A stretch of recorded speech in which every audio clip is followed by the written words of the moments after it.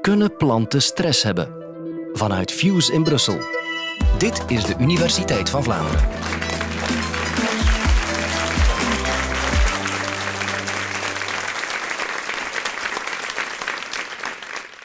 Een fascinerende vraag. Kunnen planten stress hebben? Uiteraard, net zoals wij kunnen planten ook stress hebben. En bovendien hebben ze nog een bijkomend nadeel. Want als we onze kamerplanten ergens neerzetten of als planten buiten ergens beginnen te groeien, dan kunnen ze niet gaan lopen.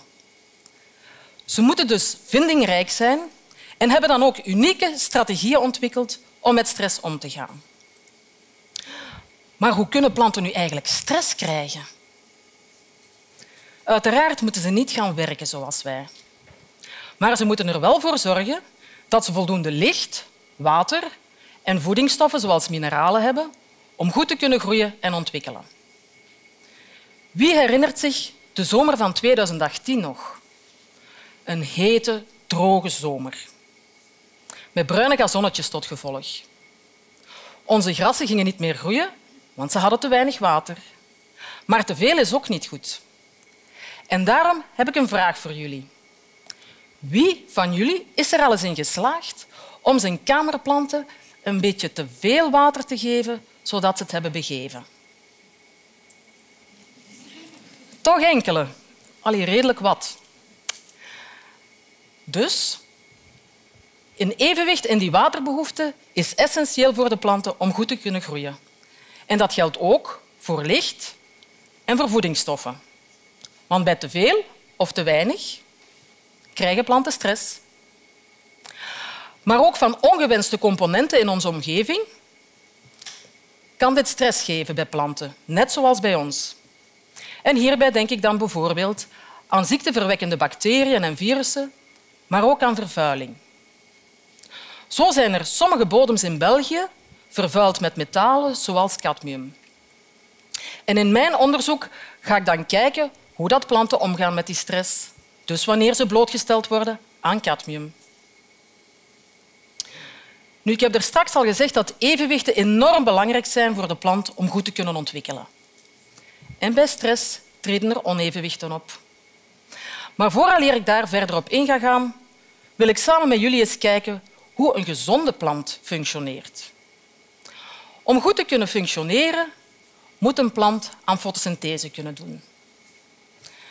In dit proces gaat ze vertrekken vanuit koolstofdioxide of CO2 en water. En dan gaat ze met behulp van de energie van de zon in staat zijn om dit om te zetten naar suikers en zuurstof. Die suikers kan de plant dan terug gaan gebruiken als bouwsteen, maar ze kan er ook energie van maken. En hoe doet ze dat dan? Ze gaat eigenlijk met behulp van zuurstof die suikers verbranden terug tot CO2 en water. En tijdens dit proces dat we de celademhaling noemen, wordt er energie geproduceerd. Een plant kan dus zichzelf voorzien van energie, vertrekkende eigenlijk van zonlicht. Wij kunnen dat niet. Wij moeten dus eigenlijk bijvoorbeeld suikers via onze voeding binnenkrijgen.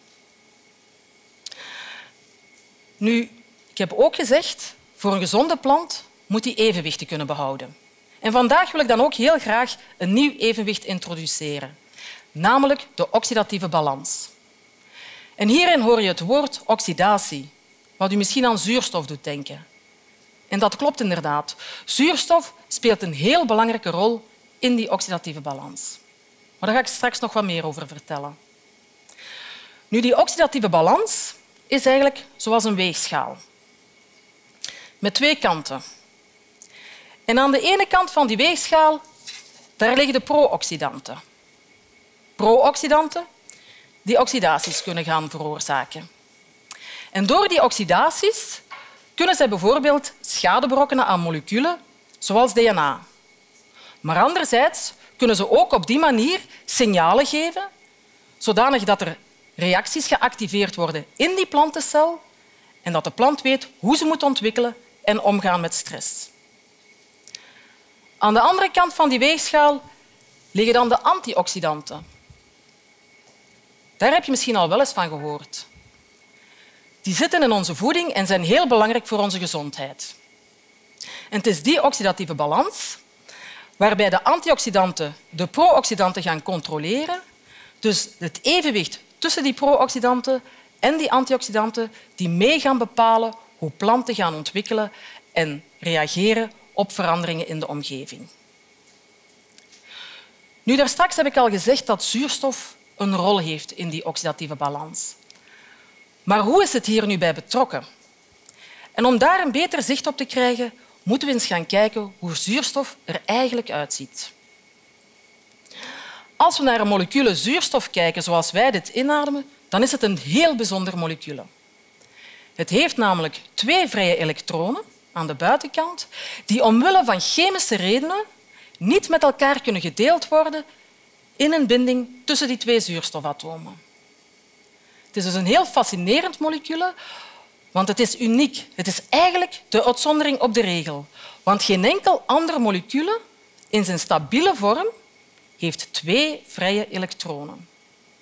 Het is dan ook niet verwonderlijk dat zuurstof niet direct een partner gaat vinden waar hij die elektronen mee kan gaan delen. En bijgevolg is het in deze vorm ook weinig reactief. Uiteraard komt zuurstof ook in andere vormen voor. En dat noemen we dan afgeleide varianten. En wat gebeurt er eigenlijk? Het zuurstofmolecule wordt als het ware een klein beetje aangepast, waardoor het vooral veel reactiever wordt. En we noemen dat dan ook de reactieve zuurstofvormen. En die kunnen nu ontstaan wanneer zuurstof bijvoorbeeld extra elektronen krijgt. Die elektronen kunnen afkomstig zijn van tal van biologische processen waarbij elektronenoverdracht een rol speelt, zoals de fotosynthese. Hierbij worden eigenlijk elektronen van één component doorgegeven aan de volgende component en tijdens het transport kunnen dus elektronen gaan lekken naar zuurstof, iets wat onder normale omstandigheden ook gebeurt. En zo ontstaan die reactieve zuurstofvormen. En die maken een groot deel uit van onze pro-oxidanten. Maar voor de inhoud van het verhaal ga ik ze nu pro-oxidanten noemen. Ik heb er straks gezegd dat ze zowel schade kunnen berokkenen als een signaal kunnen geven. Het is dan ook van essentieel belang dat we de hoeveelheid van die pro-oxidanten onder controle kunnen houden. En dat gebeurt dan in de plant door middel van die antioxidanten. Antioxidanten zitten in onze voeding. Ze zitten in alle groenten en fruit. Zo kennen we bijvoorbeeld caroteen vanuit wortelen of vitamine C uit citrusvruchten.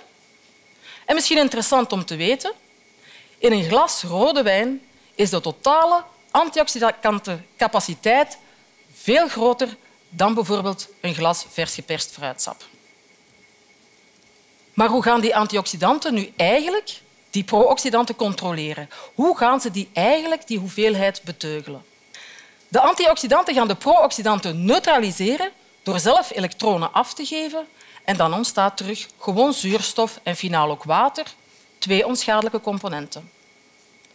Maar tijdens dit proces worden de antioxidanten zelf geoxideerd en moeten dus terug omgezet worden, zodat de plant die opnieuw kan gebruiken om nieuwe pro-oxidanten te neutraliseren. Dat proces kost uiteraard energie, maar een plant kan zich daar makkelijk in voorzien onder normale omstandigheden. Als we alles nu even samenvatten. De oxidatieve balans is dus eigenlijk een evenwicht tussen die pro-oxidanten en de antioxidanten. En onder normale omstandigheden, als we dan naar die weegschaal kijken, zoals ze nu bezig is, kan ze dus eigenlijk gaan bewegen binnen bepaalde grenzen en op die manier een signaal geven aan de plant, zodat die goed kan ontwikkelen en kan omgaan met stress. Maar wat gaat er dan precies gebeuren als planten stress hebben? En nu gaan we eens een keer naar de plant in zijn geheel kijken. Helemaal in het begin heb ik gezegd dat planten niet kunnen gaan lopen, maar ze kunnen wel bewegen. En ze kunnen dat op twee manieren doen. Bovengronds kunnen ze zich gaan richten naar het licht en ondergronds kunnen ze eigenlijk hun wortels laten groeien in de beste plaatsen. Zo zullen je misschien al wel kamerplanten gezien hebben die volledig naar het venster gaan richten om zoveel mogelijk zonlicht op te vangen om aan fotosynthese te kunnen doen. En vanuit ons eigen onderzoek, waarbij we dus kijken naar de effecten van cadmium op de plant, wil ik u graag een mooi voorbeeld geven van hoe een plant zijn wortelstelsel kan aanpassen. in een experiment hebben we eigenlijk een deel van de wortels van een jong plantje in contact gebracht met een goede voedingsbodem en een deel met een voedingsbodem waar ook cadmium werd aan toegevoegd. Ik denk dat het duidelijk is waar de voorkeur van de plant naartoe gaat om liefst zoveel mogelijk goede voedingsstoffen te krijgen en zoveel mogelijk het cadmium te vermijden. Echt van plaats vergaan zit er dus voor de plant niet in, maar bewegen kunnen ze uiteraard wel. En die veranderingen in bewegingen die gebeuren niet zomaar, die worden gestuurd. En om die processen aan te sturen, moet de plant signalen krijgen. En dat is nu net wat die oxidatieve balans gaat doen. Die gaat een signaal geven zodat de plant weet wanneer ze zich naar het zonlicht moet richten en waar ze haar wortels moet laten groeien. En nu gebiedt mij de eerlijkheid dat ik u eigenlijk een klein beetje misleid heb. Het is niet de volle waarheid. Wat ik verteld heb van de oxidatieve balans, dat klopt. Maar het is uiteraard niet het enige systeem dat signalen kan geven. Er zijn nog andere systemen. En net zoals bij ons zijn bij planten hormonen ook heel belangrijk. Het is heel vergelijkbaar. Plantenhormonen zijn heel belangrijk voor de normale groei en ontwikkeling en komen ook tussen als planten stress krijgen. Dus sowieso werkt die oxidatieve balans niet alleen, maar altijd samen met onder andere deze plantenhormonen. Maar wat gaat er dan gebeuren als planten niet kunnen wegbewegen van die stress? En als we dan even terugdenken aan dat experiment, waar we een deel van de wortel in een goede voedingsbodem en een deel in een cadmiumvervuilde bodem hadden gezet, ja, dan kon de plant kiezen. Maar wat als ze nu niet kan kiezen en je brengt dat wortelstelsel volledig in die cadmiumvervuilde bodem, dan wordt die oxidatieve balans volledig verstoord. De pro-oxidanten gaan het overnemen. De balans gaat volledig overhellen en nu wordt het echt een uitdaging voor de plant. Want de plant moet ervoor gaan zorgen dat ze gaat investeren in die antioxidanten, want die pro-oxidanten kunnen schade veroorzaken, dus we moeten ze beperken. Maar anderzijds moeten er ook genoeg zijn zodat er een signaal kan gegeven worden dat de plant beschermingsreacties kan activeren en zich kan aanpassen aan die stress. Dus we moeten ook heel veel antioxidanten gaan aanmaken als plant. En dat kost uiteraard enorm veel energie. En we zien dan ook vaak dat die plant gaat inboeten op de groei. Want de energie die de plant maakt, kan natuurlijk maar één keer ingezet worden. Het wordt dus afwegen tussen ofwel beschermen ofwel nog groeien. Als we dan naar gewassen gaan kijken, dan zien we dat gewassen die onder stress komen te staan, meestal minder opbrengst gaan genereren. Maar niet alleen minder opbrengst, ook van slechtere kwaliteit. Want antioxidanten zullen bij stress meer geoxideerd zijn en dus ook van slechtere kwaliteit voor onze voeding. Maar het gaat ook negatief zijn voor de bewaarbaarheid van onze groenten en fruit. Dus komt het erop neer dat wij moeten zorgen dat onze planten in goede groeiomstandigheden kunnen vertoeven. En dat is dan ook wat wij onderzoekers proberen te doen wanneer we planten willen laten groeien op bodems die niet optimaal zijn. Bijvoorbeeld cadmiumvervuilde bodems. We willen de omstandigheden verbeteren. Nu zijn er verschillende manieren om dat te doen.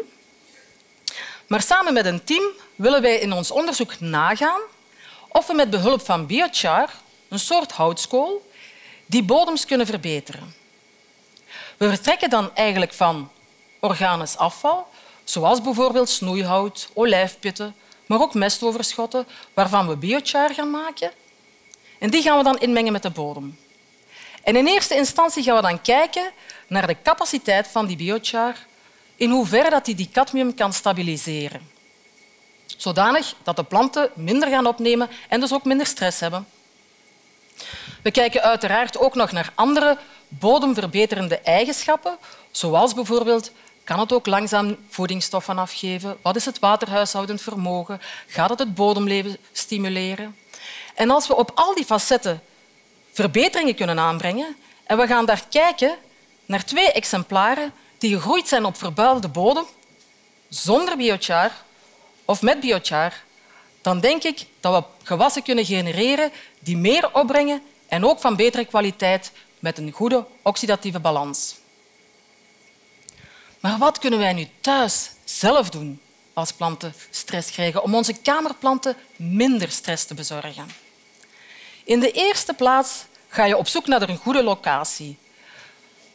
Daar is veel lichtinval en is de temperatuur relatief stabiel. Dus liefst niet vlak bij je buitendeur of aan een venster op het zuiden gericht. Dan moeten we natuurlijk zorgen dat onze wortels voldoende ruimte krijgen, dus een grote plantenpot en dan elk jaar ook eens gaan controleren of ze nog wel voldoende ruimte hebben, zodat we ze niet moeten verpotten. Dat is echt een goed idee. Af en toe dan ook nog voedingsstoffen geven en regelmatig een beetje water, maar denk eraan, niet te veel. En als je dan ook nog eens de tijd neemt om uw kamerplanten te bewonderen en te zien of alles goed met hen gaat, dan is dit de beste cocktail om uw kamerplanten stressvrij te houden. Dank u.